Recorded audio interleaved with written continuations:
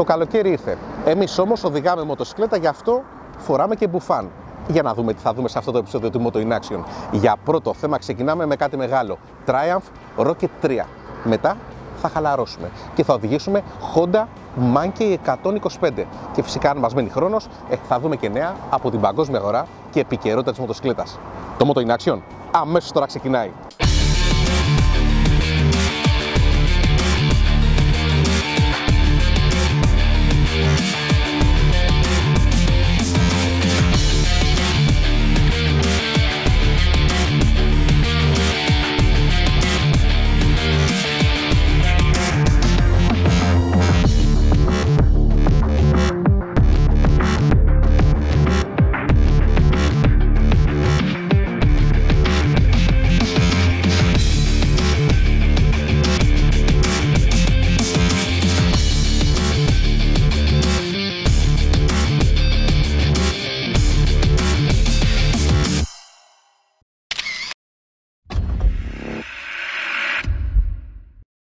Αναρωτηθήκατε ποτέ πώς θα ήταν να οδηγήσετε μία μοτοσυκλέτα 2.500 κυβικά και 291 κιλά; Πάμε να γνωρίσουμε την Triumph Rocket 3.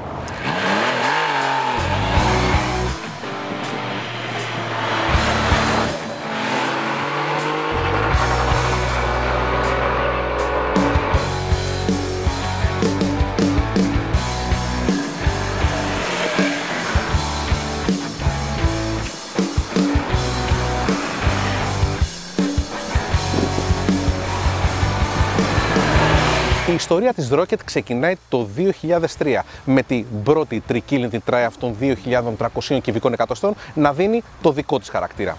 Με μικρές παραλλαγές περνάνε τα χρόνια, όμως το 2020, σήμερα δηλαδή, έρχεται μια εντελώς και τελείως ανανομένη Rocket. Μια Triumph με δικό της χαρακτήρα που θα τολμήσω να πω ότι είναι και μια κατηγορία μόνη της. Θα ξεκινήσω φυσικά από τα τεχνικά χαρακτηριστικά, από τα νούμερα που μας ενδιαφέρουν γιατί και αυτά με τη σειρά τους εντυπωσιάζουν, όμως θα μιλήσουμε και για οδηγικό feeling, για το τι σπράττει ο οδηγός όταν βρίσκεται πάνω στη σελά της Rocket.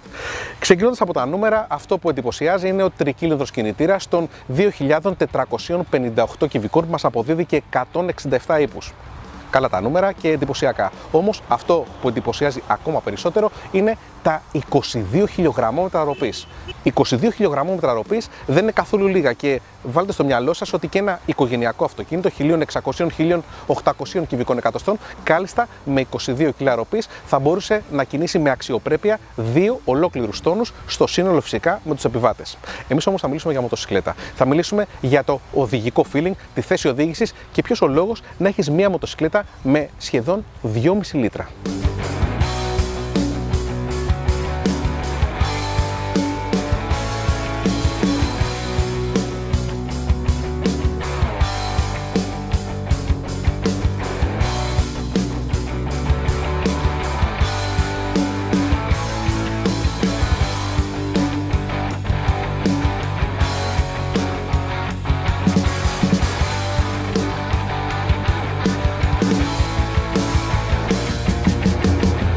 Φυσικά τα 2.500 κυβικά έρχονται και προσθέτουν στη μοτοσυκλέτα και 291 κιλά. Δεν είναι πολλά γιατί έχουμε και το ρεζερβάρ των 18 λίτρων γεμάτο. Θα μου πεις 291 κιλά μήπως είναι πολύ ψηλό το νούμερο, θα είναι οδηγήσιμο, θα είναι διαχειρίσιμο το σύνολο της μοτοσυκλέτας; Παιδιά τα κιλά δεν φαίνονται. Η μοτοσυκλέτα έχει 100% ανάλαφρη αίσθηση και αυτά θα τα δούμε και στην οδηγική βάση που θα δώσουμε στη μοτοσυκλέτα οδηγώντας τη Rocket. Αυτό που όμως έχω να πω είναι μην ξεγελιέστε από τα νούμερα, ειδικά στην περίπτωση της Rocket. Είναι μια μοτοσυκλέτα ναι διαχειρίσιμη επειδή όμως τα λόγια είναι περιτά, πάμε να την οδηγήσουμε και να δούμε τι σπράξαμε εμείς πάνω στην σούπερ αναπαυτική σέλα με την ιδιαίτερη θέση οδήγησης, αφού το συγκεκριμένο μοντέλο είναι και το GT, δηλαδή το Grand Turismo. Α ξεκινήσουμε βασικά από τη θέση οδήγησης, αφού μιλάμε και για το μοντέλο GT, Grand Turismo όπως είπα και νωρίτερα, άρα η θέση οδήγησης πρέπει να είναι πιο ξεκούραστη, πιο αναπαυτική. Έχουμε λοιπόν μια ξεκάθαρα roadster μοτοσυκλέτα. Roadster μοτοσυκλέτα και αντίστοιχη θέση οδήγησης. Μεγάλο τιμόνι. Ανοιχτά χέρια. Όχι πάρα πολύ μεγάλο τιμόνι, αλλά έρχεται και εξισώνει την διαφορά που θα εισπράταμε αν ήταν μικρότερο από το μέτριο σε μέγεθος ρεζερβουάρ, ξαναλέω, των 18 λίτρων. Τα χέρια έρχονται σε φυσιολογικές γωνίες, οι αναβάτες μέχρι και ένα 80 και τα πόδια έχουν τη roadster θέση, δηλαδή είναι λίγο πιο μπροστά. Δεν είναι ακριβώς κάτω από τη λεκάνη. Έχουν πολύ ανοιχτές γωνίες. Αυτό που αρέσει είναι η σέλα. Είναι ίσως η πιο αναπαυτική σέλα σε roadster που έχουμε ανέβει. Και ίσως να ήταν και ο αγαπημένος σας καναπές στο σαλόνι που θα παρακολουθήσατε τηλεόραση. Εδώ λοιπόν βλέπουμε ότι ο αναβάτης έρχεται χαλαρά, αναπαυτικά και εύκολα, όχι όμως να χάσει το control της μοτοσυκλέτας. Έχει δηλαδή τον έλεγχο της μοτοσυκλέτας. Και αυτό είναι πάρα πολύ σημαντικό. Και σε αυτό το σημείο θα πούμε ότι με το που θα ανέβουμε πάνω θα πάρουμε το πρώτο feedback από την ποιότητα κατασκευής της Triumph.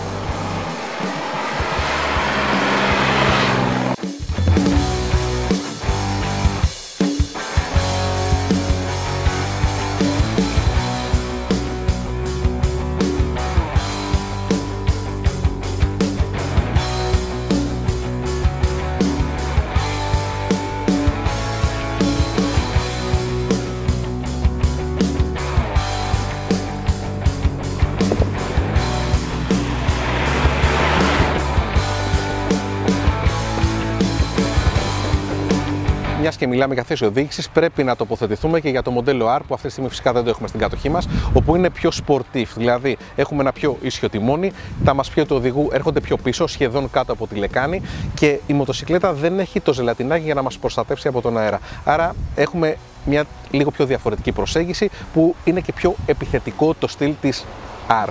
Εδώ λοιπόν μιλάμε για GT. Από εκεί και πέρα οι διαφορές δεν υπάρχουν, μένουν ως έχουν. Πάμε όμως να δούμε οδηγικά τι feeling εισπράττουμε από την Triumph και πώς συμπεριφέρεται στον δρόμο, αλλά επίσης και πόσο μαγεία θα μας χαρίσει όλο αυτό το mood που ξαναλέω είναι μια κατηγορία μόνη της.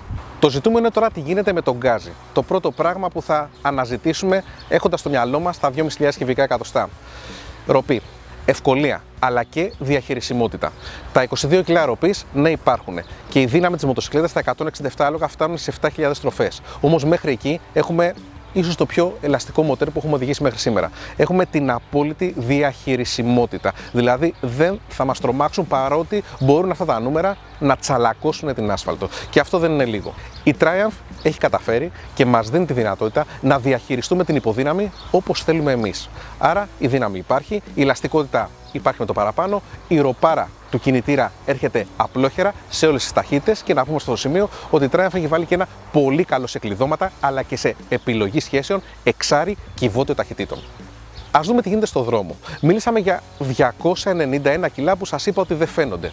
Αυτό το κατάλαβα από την πρώτη στιγμή που πήρα τη μοτοσυκλέτα από την αντιπροσωπεία στην Καλλιρόε και οδήγησα σε σφιχτό αστικό περιβάλλον. Πραγματικά δεν κατάλαβα το βάρος της μοτοσυκλέτας. Σίγουρα στο πάρκαρε ξεπάρκαρε όταν τσουλάς τη μοτοσυκλέτα χωρίς να λειτουργεί ο κινητήρας και στο πλάι, εκεί καταλαβαίνεις ότι υπάρχει βάρος. Όμως κατά τη διάρκεια της κύλησης και των ελιγμών δεν υπάρχουν τα κιλά σε roadster χρήση, δηλαδή σε ανοιχτό απλό δρόμο. Εκεί βλέπουμε ότι η Triumph έχει κάνει μια συγκεκριμένη επιλογή στη γεωμετρία. Δηλαδή έχουμε ένα αρκετά μεγάλο μεταξώνιο και έτσι πρέπει να είναι και μια αρκετά μεγάλη γωνία κάστερ που ναι δεν θα σας πω τα νούμερα γιατί θα σας κουράσω και δεν υπάρχει λόγος.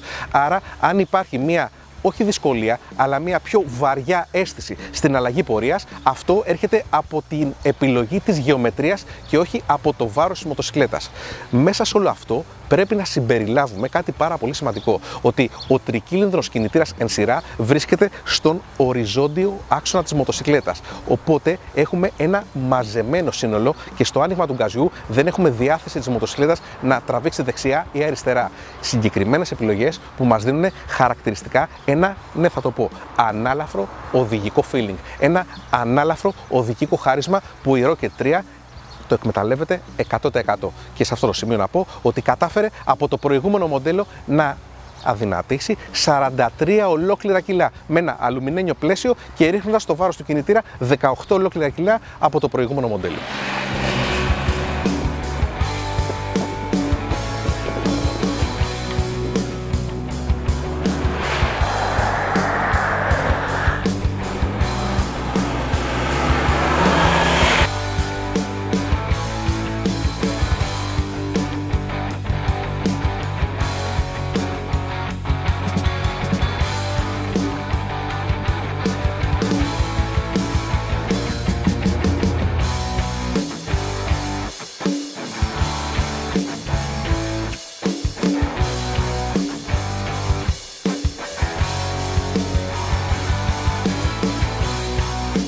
Το θέμα όμως είναι πού θα τη χαρούμε, πού θα την ευχαριστηθούμε και εκεί έρχεται και η απάντηση γιατί να πάρουμε τη Rocket 3 της Triumph.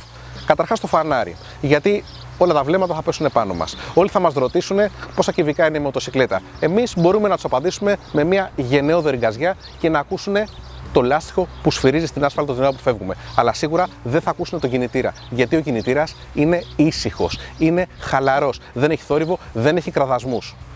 Το στοιχείο της.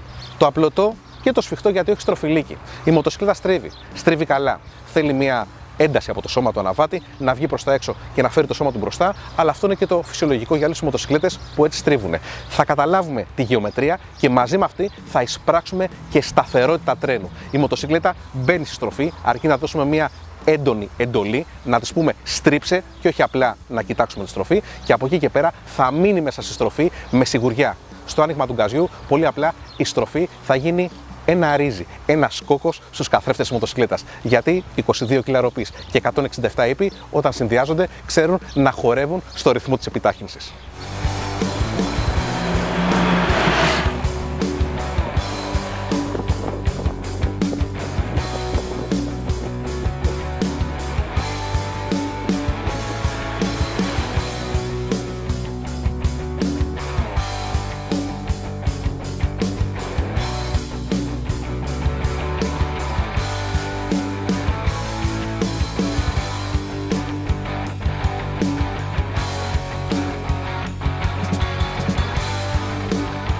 Η Rocket 3 ξεκάθαρα είναι μια premium μοτοσυκλέτα με πολύ υψηλή ποιότητα κατασκευής και πολύ έξυπνη σχεδιαστική προσέγγιση.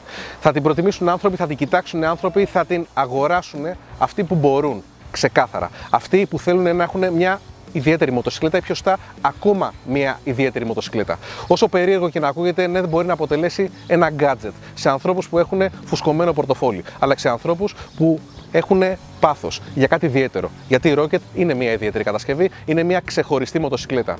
Θα σταθώ στην περίμετρο του μοτέρ που είναι σκεπασμένο από καπάκια περίτεχνα και φωνάζουν Rocket πάνω στον τρικύλινο κινητήρα. Από την άλλη πλευρά βλέπουμε το καπάκι της κεφαλής να γράφει το εντυπωσιακό νούμερο των 2.500 κυβικών εκατοστών. Και φυσικά η κίνηση έρχεται με άξονα στον πίσω τροχό, όπου πάνω από τον άξονα είναι με ένα περίτεχνο τρόπο πολύ καλά κρυμμένα και παράλληλα διπλωμένα αυτά τα εξαιρετικά μασπιέ για το συνεπιβάτη, όπου ανοίγουν ακριβώς με αυτόν τον τρόπο. Όταν τα κλείσετε, πολύ απλά νομίζετε ότι η Rocket είναι μια μοτοσυκλέτα μόνο για οδηγό. Βέβαια, για το συνεπιβάτη υπάρχει και το σελάκι που είναι μικρό στο μάτι, αλλά αρκετά καλό για να κάσει. Βέβαια για το συνεπιβάτη υπάρχει και το σελάκι που είναι αρκετά καλό, μικρό στο μάτι, αλλά ικανό να συνταξιδέψετε. Ναι, γιατί η μοτοσυκλέτα εκτός από τις βόλτες θα συνταξιδέψει.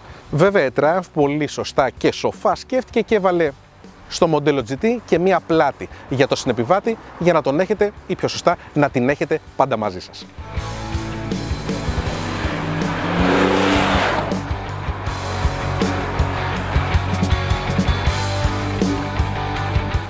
Η Triumph κατάφερε και πάντρεψε την τεχνολογία με το κλασικό αλλά και τη διαφορετικότητα. Έδωσε όλα τα χρειαζόμενα ηλεκτρονικά συστήματα του σήμερα όπως ένα keyless, όπως τα πολλά και χρήσιμα προγράμματα, τη διαφορετικότητα, την ευχριστία. Όμως εδώ έχουμε μία μοτοσυκλέτα πραγματικά για αυτούς που μπορούν να εκτιμήσουν το διαφορετικό. Να καταλάβουν και να κατανοήσουν ότι το περιττό, το πληθωρικό είναι αυτό που κάνει τη διαφορά. Εμείς λέμε ναι. Είναι μια μοτοσυκλέτα που θα θέλαμε να την έχουμε. Προσωπικά, εγώ θα ήθελα να την έχω στο πάρκινγκ με τις μοτοσυκλέτες μου. Θα ήθελα να είναι μία από τις επιλογές μου για να κάνω ιδιαίτερες βόλτες σε ιδιαίτερες στιγμές. Όπως και να έχει, για να την αποκτήσετε και να έχετε αυτή την ιδιαίτερη μοτοσυκλέτα Triumph Rocket 3, πρέπει να δώσετε και για το μοντέλο R, που δεν έχουμε τώρα μαζί μας, 24.290 ευρώ ή για το μοντέλο GT, που έχουμε μαζί μας 24.990 ευρώ. Αυτή ήταν η Triumph Rocket 3, μια μοτοσυκλέτα για λίγους που είναι σίγουρο ότι θα τη θέλουν και θα την ποθούν πολύ. Όπως και να έχει, σε όποια κατηγορία και να ανοίγετε, δεν ξεχνάτε ποτέ να φοράτε πάντα όλο σας το μοτοσυκλετιστικό εξοπλισμό.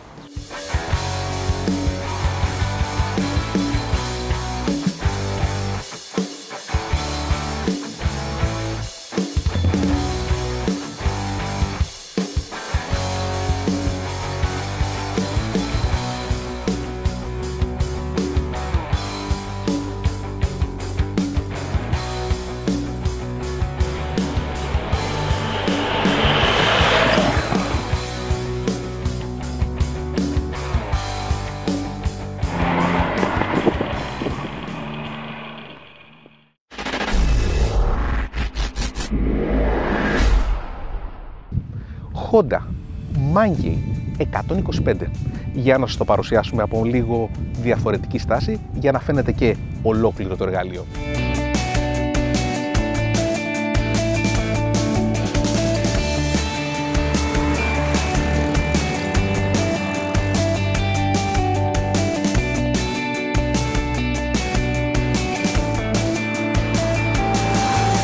Νομίζω ότι τώρα είμαστε καλύτερα.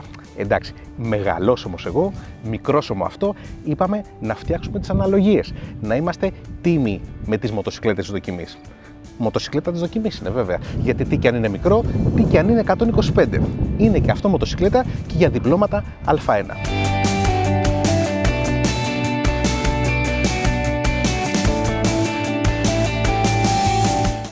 Από πού κρατάει σκούφια σου; Όχι πες μου από πού κρατάει σκούφια σου; Ναι, θα τα πω εγώ τα υπόλοιπα. Η σκούφια του λοιπόν κρατάει από τη δεκαετία του 60 και συγκεκριμένα από το 1961 όταν κάποιοι Ιαπωνέζοι σκέφτηκαν να το βάλουν σε ένα πάρκο αναψυχής για να πηγαίνει ο κόσμος να το διγάει και να χαίρεται. Δεν ήταν δηλαδή μοτοσυκλέτα καθημερινό εργαλείο. Έτσι λοιπόν μπήκε το ζετάκι, το μάνκι, ο μπόμπος, όπως θέλετε πείτε το, σε πάρκο αναψυχής. Να διασκεδάζει ο κόσμος. Αυτή ήταν η αρχική του δουλειά. Οι Ιαπωνέζοι όμως είναι έξυπνοι άνθρωποι. Τι και αν το αγάπησε ο κόσμος. Δεν ήταν να είναι μόνο για παιχνίδι και μάλιστα που ήταν τότε χωρίς αναρτήσεις, σου λέει είναι μικρό, λειτουργικό, έχει και ένα μοτεράκι τότε, έτσι 49 κυβικά εκατοστά. Δεν το κάνουμε εκτός από παιχνίδι και εργαλείο. Και πού αλλού το είδαμε το είδαμε πάνω σε τάνκερ να πηγαίνει από την πρίμη στην πλώρη και από την πλώρη στην πρίμη. Το είδαμε σε εργοτάξια. Το είδαμε φορτωμένο σε τρέιλερ να πηγαίνει διακοπές ο κόσμος. Το είδαμε πίσω από τα τροχόσπιτα που πήγαινε να στρατοπεδεύσει ο κόσμος στο βουνό, να κάνει τις εξοχικές του διακοπές και είχε μαζί του και ένα ζετάκι να κάνει έτσι τα γύρω-γύρω, τα εύκολα, τα λειτουργικά. Το ζετάκι μπήκε στη ζωή του κόσμου, ειδικά τη δεκαετία του 70. Και τι σχέση έχει η δεκαετία του 70 με το 2020. Πώς μπορεί να μπει στη σημερινή ζωή και στην καθημερινότητα τόσο του σύγχρονου αστού όσο και του ανθρώπου που ζει στην περίμετρο της πόλης; Για να γνωρίσουμε λοιπόν το ζετάκι 125 και πιο σωστά Honda Z125 που το έχω δίπλα μου και με έχει πάρει και αγκάλιτσα.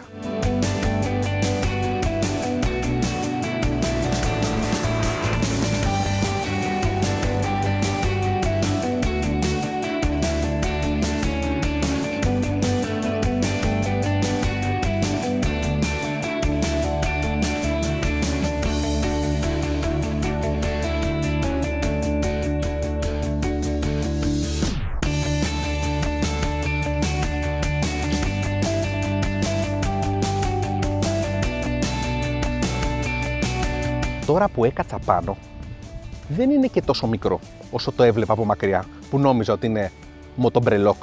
Όχι, όχι. Έχει ρε παιδί μου έτσι το αέρα του να πούμε. Έχει το μέγεθός του που κάθεσαι πάνω και μάλιστα είναι και αναπαυτική σε λαφαρδιά πλατιά. Και στο παλιό ήταν, τέλος πάντων. Λοιπόν, πριν ξεκινήσω την παρουσίαση, επειδή τώρα έτσι μου ήρθε και ξέρω ότι γουστάρετε θα σα αρέσει, θα σας πω και μια γρήγορη ιστορία με το ζετάκι εκεί, τη δεκαετία του 90, στις αρχές που ήμουν και εγώ πιο μικρός, όχι όπως είμαι τώρα. Είχε ο φίλος μου σταμάτησε ένα ζετάκι ε, 50, το είχε κάνει 70 να μαρσάρει λίγο καλύτερα και γυρίζαμε από το αλεποχώρι στο σχήνο Κορινθίας. Και εκεί κάπου στη Μαυρολίνη αποφασίζει ο Σταμάτης, τι τρελές ιδέες για αυτό το παιδί, να κάνει μια σούζα. Σουζάρι με το μικρό το μπομπάκι, το ζετάκι, το ζετί όπως έλεγε εκείνος τότε, κάνει σούζα, με το που σηκώνεται σούζα, ακουμπάω κάτω. Με τα γόνατα. Είμαι εγώ κάτω με τα γόνατα, σέρνω με κρατά το σταμάτη από τη μέση, ξαφνικά γυρίζει, γυρίζει το ζετάκι σε κάτι καλαμιές, από κάτω είναι η θάλασσα, με το που βλέπω καλαμιές, σταμάτη, ζετάκι, γόνατα να σέρνονται, κάνω χλάκ, τον αφήνω και πάει και βουλώνεται μέσα στις καλαμιές, μέσα στους θάμνους. Όλοι έχουμε μια ιστορία με το ζετάκι. Για να δούμε όμως ποια είναι η ιστορία από το καινούριο ζετάκι και τι έχουμε να δούμε και να εισπράξουμε οδηγικά και στο φινάλε φινάλε γιατί να το αγοράσουμε. Λοιπόν, τι έχουμε εδώ τώρα; Παπίσιο μοτεράκι. Αυτό που έχουμε δει και στο CAP 125. Παπίσιο μοτεράκι το οποίο μας αποδίδει στα 125 κυβικά εκατοστά που είναι με οριζόντιο μοτέρ και ψύκτρες. Ξέρετε τώρα, μην θέλετε ψυγεία σε αυτό εδώ πέρα. Είναι αερόψυκτο τέλος πάντων, έχει και πολύ αέρα τώρα που σας κάνουμε την παρουσίαση. Ψύχεται το εργαλείο από κάτω. 9,5 Παιδιά, μια χαρά. 9,5 πι σημαίνει ότι δεν έχουμε και ψηλά την κατανάλωση, γιατί μας ενδιαφέρει έτσι. Και όταν λέμε χαμηλά κατανάλωση, εννοούμε ότι έχουμε και 2,5 λιτράκια ανά 100 χιλιόμετρα.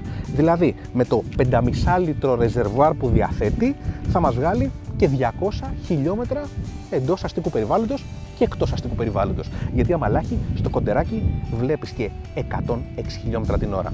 Αφού μιλάμε λοιπόν για επιδόσεις, για κατανάλωση, για ρεζερβουάρ, θα σας το μαρτυρήσω. Έχει και συνολικό βάρος, θα το πούμε, 107 κιλά.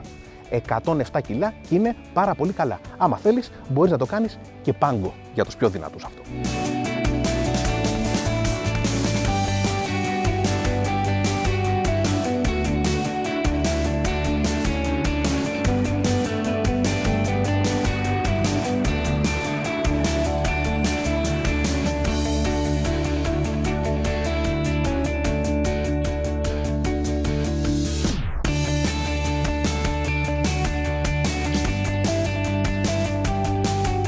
Είναι αυτό εμένα όμως που μου αρέσει, εκτός ότι είναι κάτι που θες να το έχεις ρε παιδί μου, θες να το γουστάρεις.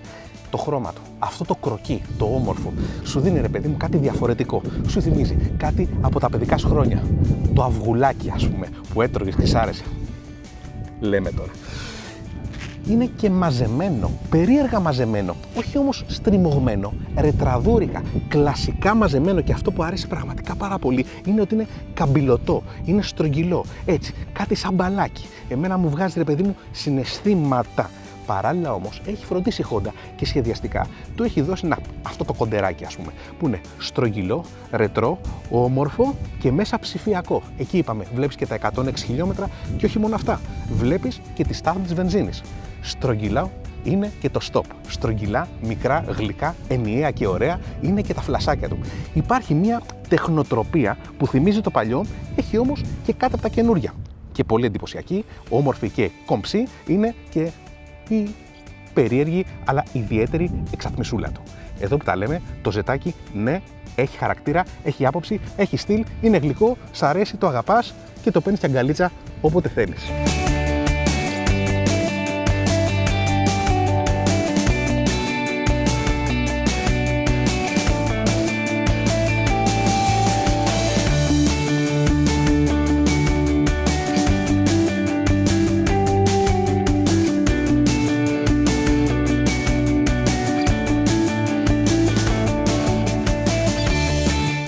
Κάτσω λίγο ακόμα εδώ, γιατί μου αρέσει αυτή η στάση, είναι και ξεκούραστη.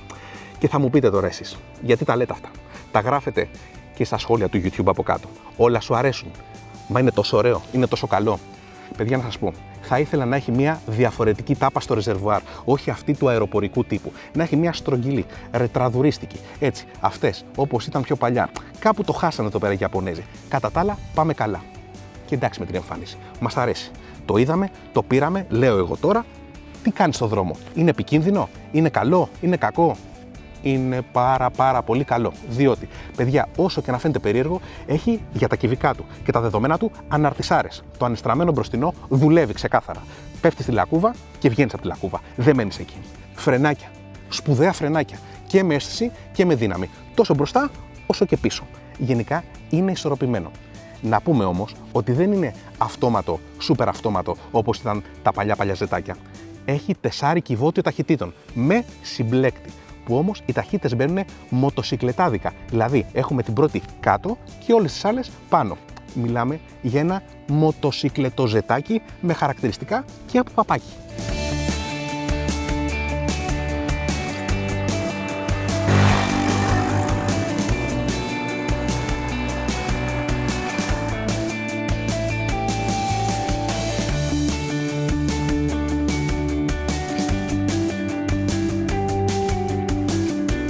Εύκολο, ευέλικτο, καθημερινό. Όχι, δεν είναι εκδρομικό, δεν είναι ταξιδιωτικό και δεν παίρνει και δεύτερο άτομο. Έχει περιορισμούς. Είναι όμω ζετάκι. Είναι ξεκάθαρα, παιδιά, αντικείμενο πόθου και πάθους. Το παίρνεις γιατί το γουστάρεις και κάνεις και τις δουλειές σου. Και μέσα στα αυτοκίνητα θα κλέψει την κίνηση, θα τη βάλεις στο τσεπάκι και θα σε φτάσει πρώτο. Πρώτο παντού, όπου θες να πας. Θα παίξεις και στο στροφιλίκι.